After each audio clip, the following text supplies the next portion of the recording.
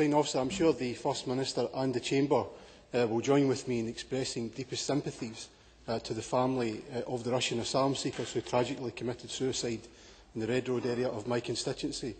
Presiding Officer, can I ask the First Minister if he will look into the tragic circumstances of these uh, sad deaths and take the necessary steps to ensure uh, that the proper resources have been uh, and will continue uh, to learn from the lessons in respect of future resources that should be provided to deliver the support services uh, that should be uh, required to not only support asylum seekers in our local communities, but also uh, support uh, the local communities who have for so many years in my constituency supported those who seek refuge uh, in Scotland.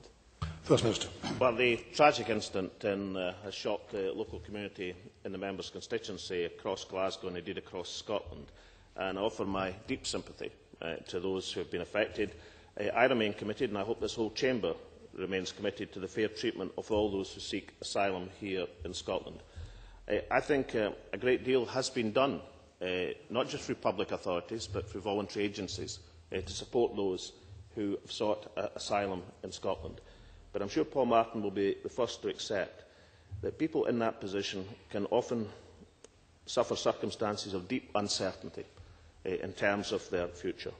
Uh, I've said a number of times in this chamber that I think we have an obligation to asylum seekers which is equal to the obligation of the citizens we have across Scotland. They are in our country and are entitled to our protection.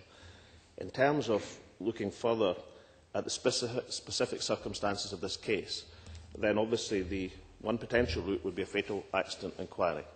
Uh, but I'm sure that Paul Martin will understand that to take such a step is for the discretion of the law officers and the Lord Advocate. But I'm sure that she will have heard his question today and will respond in a timious and timely way. Uh, I'll take another supplement from Derek Brownlee.